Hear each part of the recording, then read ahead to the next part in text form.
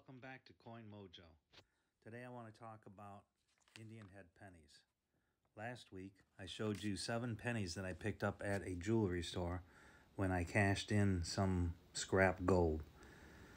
I've been collecting pennies or coins since I was a child. Uh, last week I added these seven and I had already accumulated several more throughout the years. I've been coin roll hunting since 2005, and in 2009 I kicked into high gear when I was laid off from work. Um, I only coin roll hunt half dollars primarily, but in 2009 I expanded my coin roll hunting to pennies, nickels, dimes, and quarters. And I did have some success with finding Indian head pennies here and there, but very few and far in between. I had some boxes where I pulled three pennies out of, or I picked up customer roll uh, pennies at at the bank and managed to score a Indian head penny here and there. So over the year, you're looking at years, you're looking at 66 in total, seven of which I picked up last week. Most of these pennies are in uh, G4, VG8, or F12 condition. The bulk of them are in G4. We're going to uh, talk about condition and value in a minute here. I'm going to show you the red book and we're going to look at and do some minor research on Indian head pennies so that we can get an idea of what I got here. And um, as you can see, most of these pennies are pretty well worn. Uh, the VG8 condition is when you can faintly see the word liberty on the headdress of the Indian. Uh, G4, there is no none of the word liberty visible, and of F12 or fine, the word liberty is mostly visible. So there are a couple of these pennies that do have the full Liberty headdress visible. But like I said, the bulk of them are are just G4. And like that one, it's pretty ratty. Um, some of these pennies I found as a kid, just digging in the dirt, I'm sure.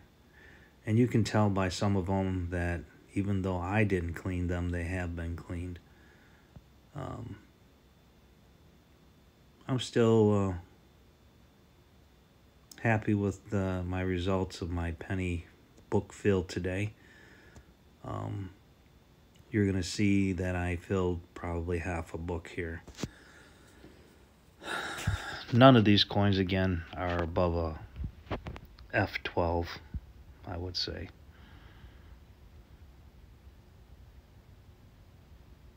And I would have thought that that would be a better grade on some of them, but after looking and doing some minor research, I can tell that it's not, none of these are very valuable or in very good condition. Uh, the bulk of these pennies are in the $3 range if you go by the red book. Um, I'm sure that a dealer wouldn't give me three $3 a piece for them. That one right there looked like it was pretty nice, that 2000 or 1907.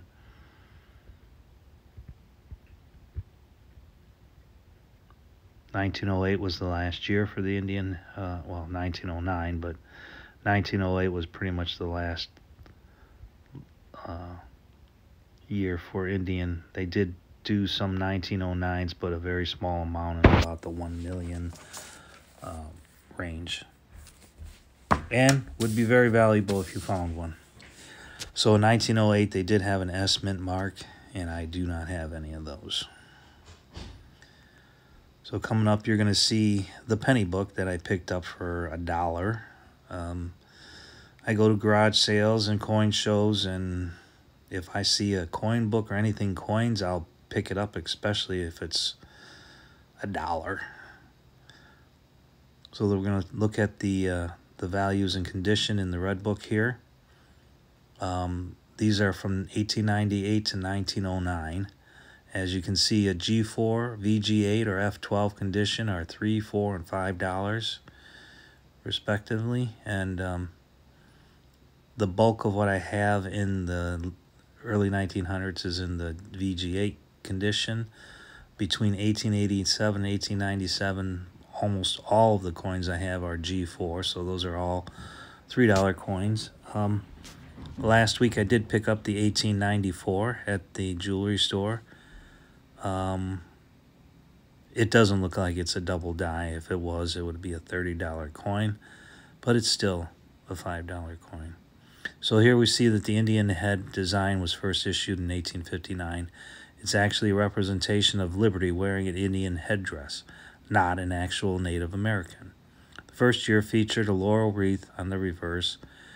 This was changed after one year to the oak wreath with a small shield uh, G4 condition. No Liberty is visible on the headdress. A VG8 is very good. Uh, at least some of the letters in Liberty are readable on the headband, and F12 is fine, and the Liberty is mostly visible. Um, I guess maybe there might be one or two that would go higher than that, but I don't want to get uh, too far ahead of myself. Here's the the first year or this is the oak wreath on the back, started in 1860.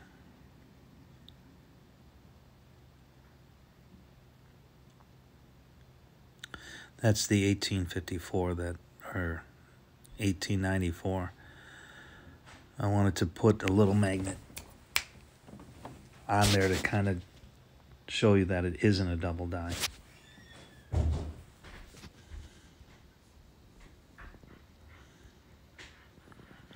So this was the first year that uh, the oldest one that I have was 1887 or 1884. It's actually a $7 coin. The 1887 is a $3 coin. Both of those were VG or uh, the actually the 1887 1884 was a VG 8 uh, G4 was the 1887 these next two or three were all G4s $3 range 1890 the G4. This was a coin that I didn't have prior to last week, so that one filled a hole. The first one that we saw filled a hole that I didn't have. Uh, the 1891 was also picked up at the jewelry store, and that filled a hole. Uh, this 1894 is the one that has a double die variety. 1895, 96, and 97 are all G4 condition, so those are all $3 coins. 1897 is a $4 coin because you can see some of the, the word Liberty on there, so that takes it to a VG8. This 1898 G4, 1889. G4, $3 coin. The 1900 looks like it was clean, but it, it could could just be. I'll take it. It's in the book. It looks good. It's the best condition one that I had. So now we're looking at the 1903. I actually had 11 copies of the 1903, and not one of them was above a G4. 1904. You can see some, you can barely see the word Liberty. I'm going to call it a G4, but if it was a G8, it'd still only be a $3 uh, coin. This is the 1905. You can make out part of the word Liberty on the headdress.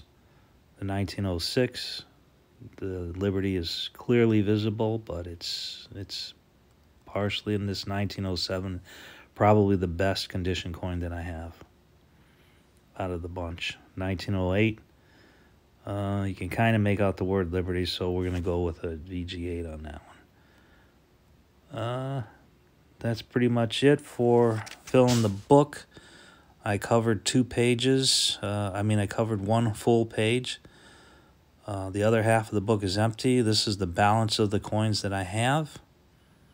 And uh, that's that's it for the book fill. I got halfway through it. I think I did pretty good. Um, it only took me 60 years to get to that. If you like the video, press like if you want. Subscribe and push that bell. Make a comment or share if you like. Thanks for watching.